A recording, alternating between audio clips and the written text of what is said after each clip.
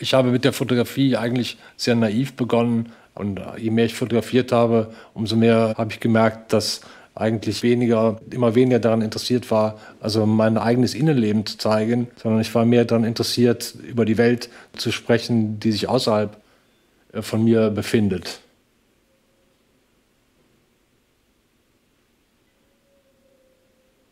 Mein großes Hauptthema ist die Geschichte und äh, ein, ein gewisses Problem zwischen dem persönlichen Erleben des Individuums und dem Phänomen der Geschichte der Gemeinschaft, also wie Leute zusammenleben.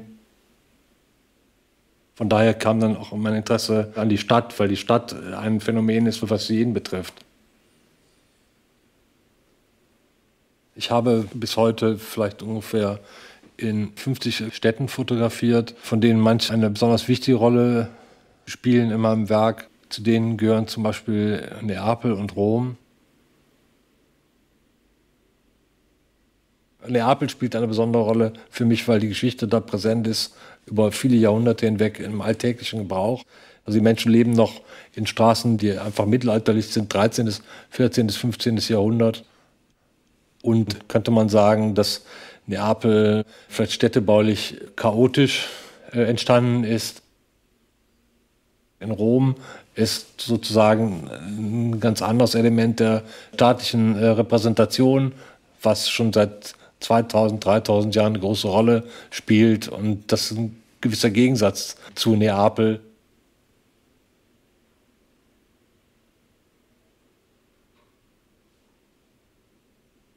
Die Straßen stehen für mich das Unbewusste der Menschen aus.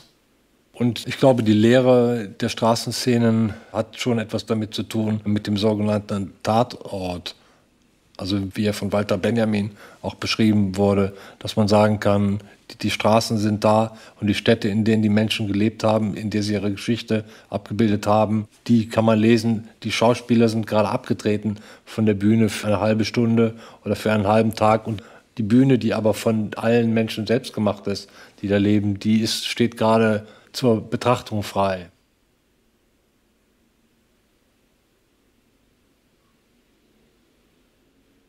Und für mich ist auch wichtig, die Orte zu zeigen in einer gewissen geschichtlichen Verankerung, weil das für mich als Deutscher ein gewisses Problem gewesen ist, 1954 geboren zu sein, wo man in der Umgebung damit konfrontiert war, dass im Faschismus und im Krieg die Geschichte gebrochen wurde.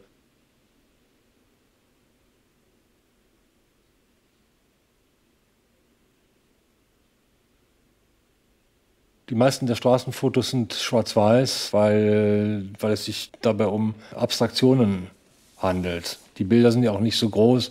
Das heißt, die Formate sind so 50 bis 60 Zentimeter in dem tatsächlichen Abzug.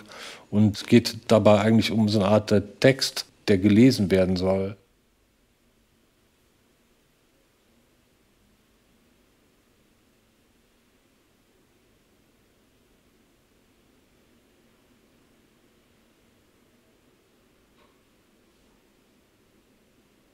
Und dann, man könnte auch vielleicht noch sagen, dass in diesem kleinen Schwarz-Weiß-Format ein besonders intensiver äh, Fokus stattfindet.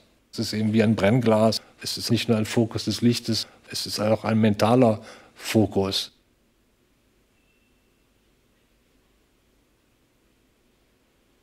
In den Bildern der chinesischen Straßen und auch der japanischen Straßen tauchen zu einem gewissen Zeitpunkt dann Menschen auf, weil das öffentliche Leben in den asiatischen Städten eben doch sehr stark auf der Straße stattfindet. Und manchmal ist es auch einfach wichtig, von sich von der Natur der Materie überzeugen zu lassen. Das heißt mit anderen Worten, es wäre nichts unsinniger, als in einem asiatischen Land darauf zu beharren, auf leere Straßen warten zu wollen.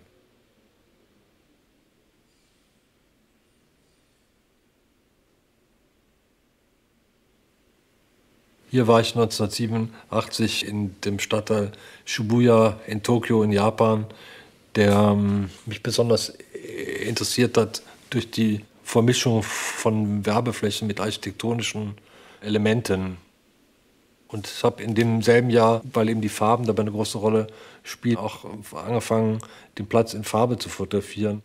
weil die selbst so eine ganz vehemente und äh, präzise Modellfunktion hat für die zeitgenössische Welt.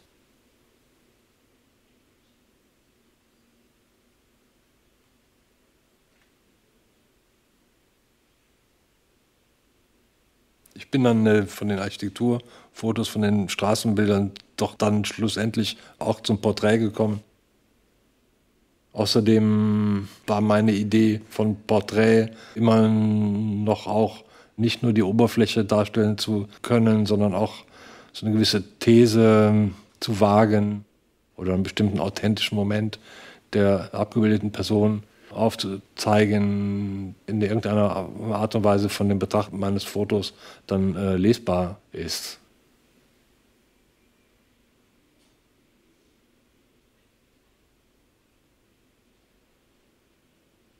Man könnte sagen, die Ausstrahlung der Person interessiert mich oder überhaupt der Zustand, in dem sich die Person gerade befindet, die ich fotografiere. Das heißt, ich fotografiere nicht unbekannte äh, Leute in der Straße, sondern ich fotografiere Leute, die ich vorher schon mal getroffen habe und ich, für die ich mir ein Bild gemacht habe, wie ich die empfinde.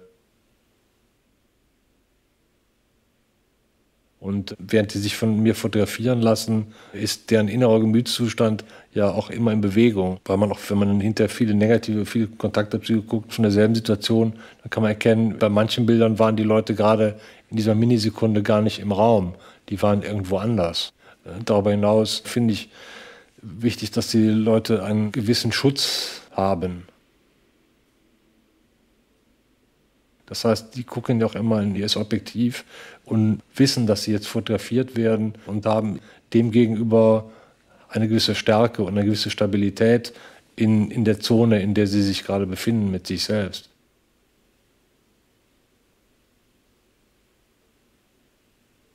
Diese Fotografie zeigt äh, Hanna Erdrich Hartmann und ihre Tochter Jana Maria Hartmann im Jahr 1987. Die Jana Maria Hartmann war da vielleicht nur fünf Jahre alt.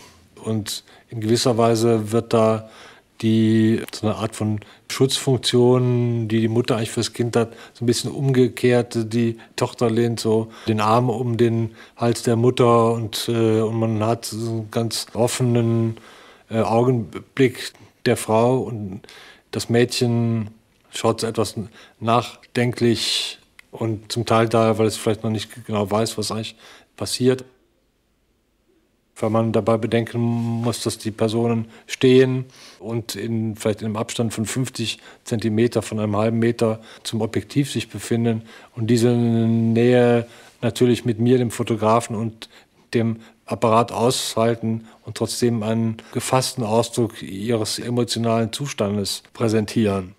Dieser Ausdruck ähm, ist natürlich immer von negativ zu negativ extrem verschieden. Hier kann man ein anderes Bild aus derselben Sitzung sehen, wo das Mädchen ein bisschen abwesender ist. Und die äh, Mutter hat auch so einen Blick, der etwas zu nachgiebig erscheint oder zu sehr von der Situation, wo sie sich befindet, weggeht. Darum habe ich das äh, ausgeschlossen. Dann in dem Prozess des Zusammenseins in der Zeit entwickelt sich dann eben manchmal erst die Idee oder es kommt eine Atmosphäre zustande, wo ich eine Idee habe, wie eigentlich der richtige Ausschnitt ist und die Personen fallen auch für ihr eigenes Gefühl in den Platz, den sie gerne einnehmen möchten.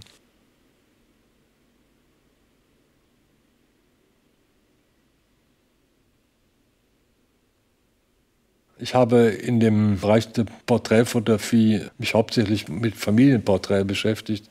Das ist immer für mich ein Themenbereich, der sich darauf bezieht, dass die Familie etwas ist, was keiner vermeiden kann. Was heißt, dass die historischen Gegebenheiten für jeden Menschen, die sind auch von der Familie sehr geprägt.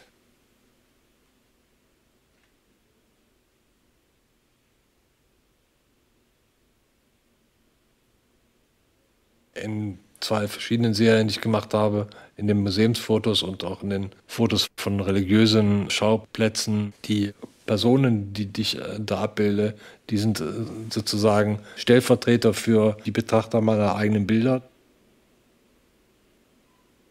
Die Auswahl dieser speziellen Museumsbesucher, die äh, spielt dabei eine ganz besondere Rolle in einer, einer bestimmten Verwandtschaft zwischen dem Aufscheinen der Personen in den Gemälden und den Personen, die dann vor diese Bilder treten, vor meinem Fotoapparat, wenn da sich keine Verwandtschaft herstellt, dann sind die Fotografien einfach nichts, dann wird es kein Bild.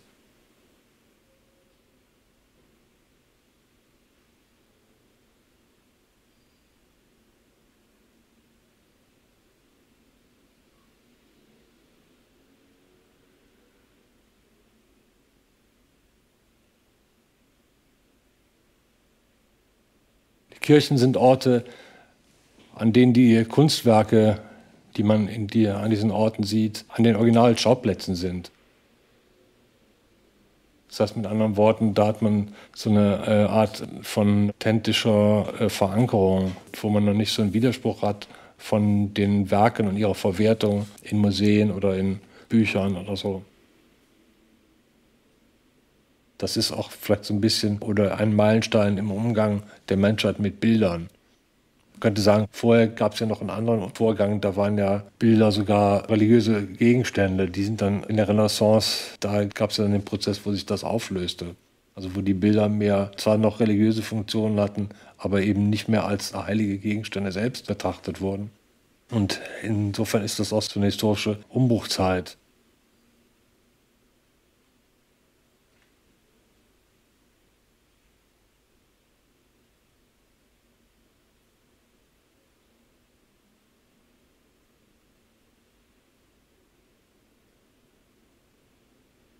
Die Aufnahmen von Landschaften und Pflanzen, die waren äh, für mich eine Art von Befreiung von den bildlichen äh, Maßstäben, denen ich vorher gefolgt bin. Und das war nochmal, könnte man sagen, nach den Straßen, den Familien, den Museen, war das nochmal ein Eintauchen in eine noch tiefere Dimension des Lebens.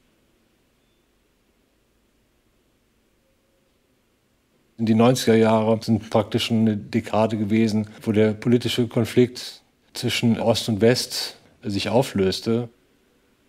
Es ist eigentlich wieder so, als wenn wir ganz von vorne anfangen. Wie wollen wir leben und was sind die Modelle des Paradies, die das wir uns wünschen? Und dann habe ich gedacht, okay, das ist eigentlich, ich fotografiere das Paradies in Form vom Dschungel. Der Dschungel ist da, die Basis, aber wir, haben, wir sehen nicht, was wir machen sollen. Das ist so eine Art Metapher.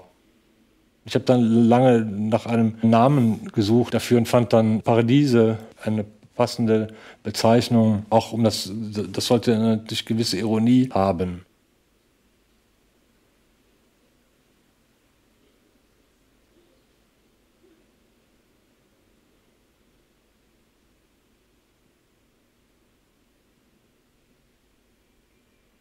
Da scheint mir aber heute Grunde genommen die Fähigkeit, Fotografien zu lesen, noch nicht so besonders ausgebildet.